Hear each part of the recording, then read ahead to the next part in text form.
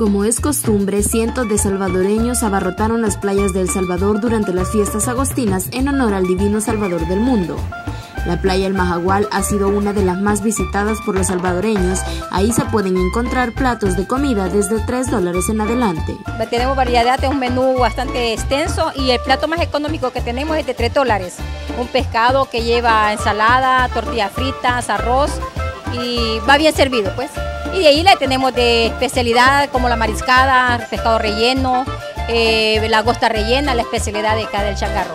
Según los comerciantes, durante esta época vacacional, la afluencia de visitantes ha sido mucha y sus ventas han incrementado.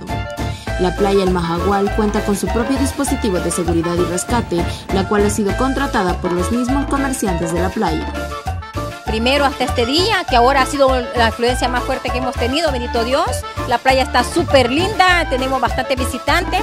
Es más, tenemos mucha protección en la playa, tenemos este, como comunidad de la playa del Majagual, eh, tenemos guardavidas que se pagan por la, por la playa del Majagual.